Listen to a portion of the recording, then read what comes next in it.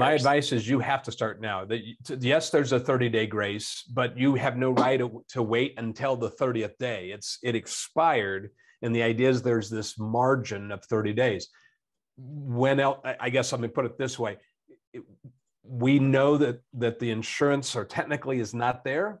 It might be in place. It might not. You know, the check got might got lost in the mail. So you start your procedure of forced placement, and they have 45 days uh, to, to respond to that. So you don't have to necessarily slam dunk by force placing a policy today, but I would start your procedures of notification. Otherwise, you're in violation of this law, I believe, that says as soon as you discover the insurance is not there. So ignore the 30 day grace when it comes to compliance, as I always say. That's not yours to take advantage of. If that makes sense.